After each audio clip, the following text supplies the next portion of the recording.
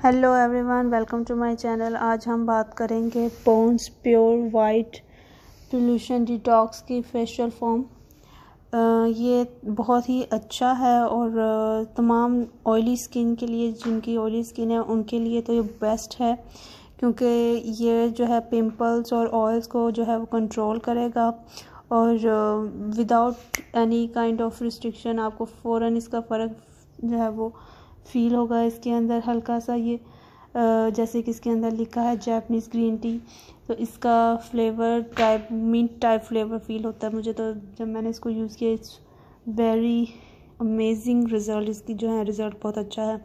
और इसको ज़्यादा ज़रूरत नहीं है, आपको इतना पानी लो और बच्चे खासा इसको जो है जी मल मल के साफ़ करो. तो बहुत इजीली जल्दी से ये जो है वो साफ़ हो जाता है. और इसका जो है डर्ट है, अगर आप मेकअप वगैरह है मुँह पे तो वो भी बहुत जल्दी इसके लिए इससे जो है रिमूव हो जाता है और फ्रेश फील करते हैं। आपकी स्किन जो है वो बहुत फ्रेश फील करती है। लेकिन अगर आपकी स्किन ड्राई है तो मे भी आपको थोड़ा सा इसमें ज़्यादा फील हो। Maybe cracky cracky type या सम कुछ जो है, क्योंकि ड्राई स्किन को होता है कि वो ज़्यादा ही फिर ड्राई हो जाती है और ये ऑयली स्किन के लिए बेस्ट है। और इसके अलावा ये जो है जो जैसे कि ऊपर लिखा है प्योर वाइट तो ये आपको स्पॉटलेस फेयरनेस देगी। अमेजिंग रिज़ल्ट है, अमेजिंग जो है ये प्रोडक्ट है। और मोस्टली जो पॉन्ड्स के होते हैं वो उसके अंदर विटामिन बी थ्री भी होता है।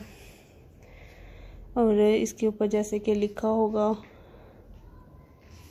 लेकिन समझ को नहीं आ रही कि क्या ये जापनीज़ लिखी हुई है।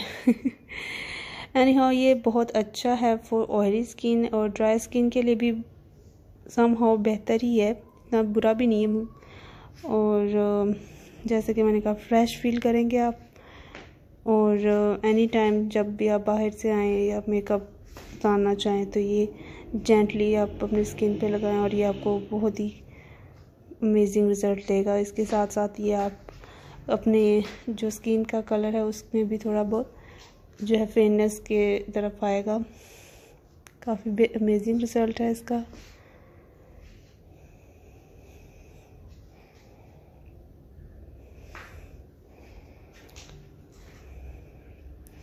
सो ये है जी पॉन्ड्स का। आई होप सो आपको आज की मेरी वीडियो पसंद आई होगी।